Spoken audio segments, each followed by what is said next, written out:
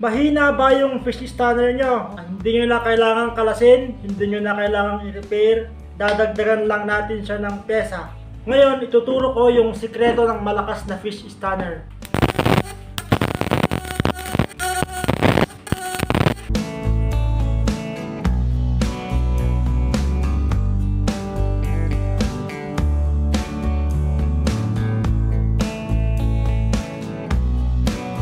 Hello mga idol!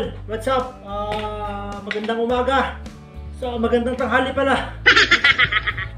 Ngayon, ituturo ko yung sikreto ng malakas na fish stunner. So, hindi mo na siya kailangan kalasin. Halimbawa, sana ito, mahina. Eh, gumawa ka ng fish stunner mo mahina. So, hindi mo na siya kailangang i-rewind ulit. Kaya, palitan ng pyesa. Ah, ipapakita ko na lang sa inyo kung paano siya palakasin gamit lang ito. O yung tinatawag na mylar. So itong mylar eh makikita mo yung nakikita mo ito sa mga motherboard ng mga appliances. So pag may sira ka ng appliances pag may sira na kayong mga appliances yung talagang hindi napapaginabangan eh pwede nyo nang bunutin yung mylar nya Once again, ito na naman po ang inyong lingkod na nag-aatid ng mga DIY, mga tips, ideas kung paano ang dapat gawin sa ating fish stunner. Sa mga bago pa lang po sa channel ko o kung ngayon mo pa lang nakita ang video na to. So please, pasubscribe naman idol. Then, uh, pakit na rin yung bell para updated ka sa mga video na bagong upload ko. Gaya nito. Palike and share na rin, idol. So, papakita ko muna idol yung uh, actual na diagram niya para mas madali ninyong maintindihan at may apply sa ating fish stunner. So, yung diagram muna, example, ito yung uh, core ng ating fish stunner. Sa, sa D platino lang ito applicable mga idol ha. Huwag nyong gagawin sa may inverter. So, halimbawa, ito yung uh, core ng ating fish stunner. Ito.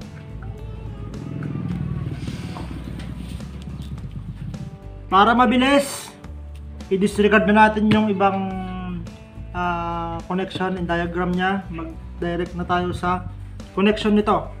So, ang ginawa ko dito mga idol, eh, pinagsama-sama ko na parallel lang. Yung isang paa niya, sama-sama, isang sa kabilang pa, sama-sama rin sa kabila. So, ayun lang. Bali dalawa lang din yung connection niya. Parang condenser lang din. Yan. So, sa diagram muna tayo. Halimbawa, ito yung primary. Number 14 na magnetic wire. Then, ito yung secondary. Which is, ito yung output natin. Yan. Itong mylar kasi mga, mga idol, eh, mayroon siyang dalawa. Dalawang pwedeng gawing connection.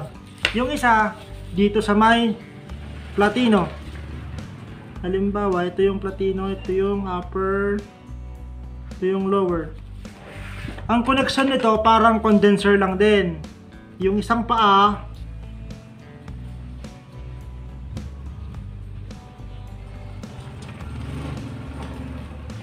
Yung isang paa dito sa may lower.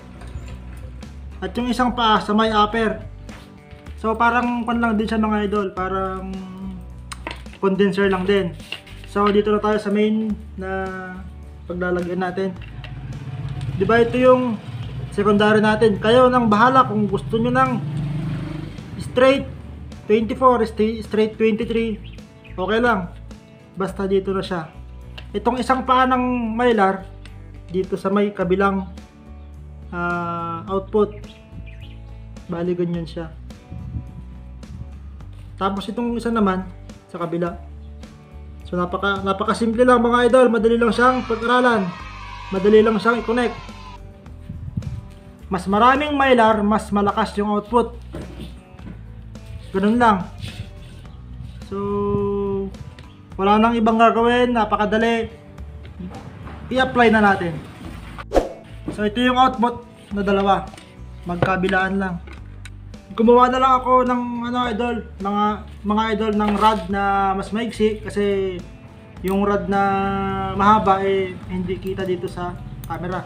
So ganito lang yung ginawa ko para mas makikita din nyo. So, i-try muna natin ano yung walang mylar kung paano yung performance niya.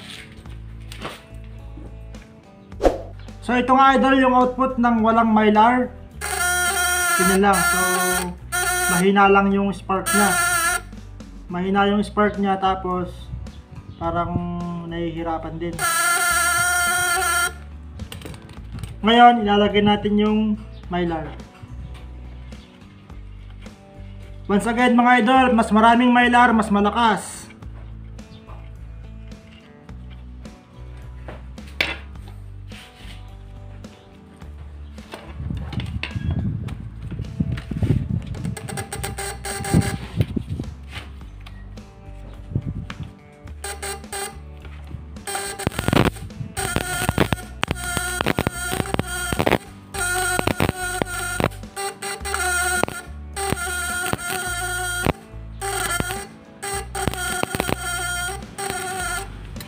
Ganun lang mga idol.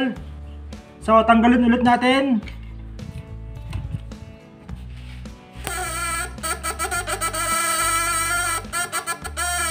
Ilagay ulit natin para sa isa bang pagkakataon.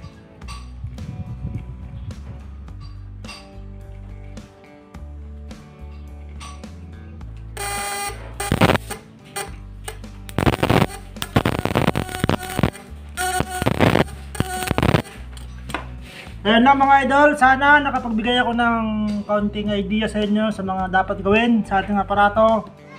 Maraming maraming salamat. Peace.